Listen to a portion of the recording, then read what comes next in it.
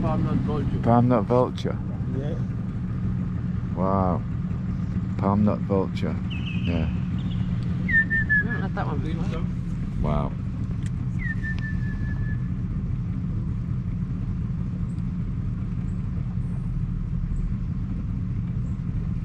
Have we had little egret before? Some call it vegetarian.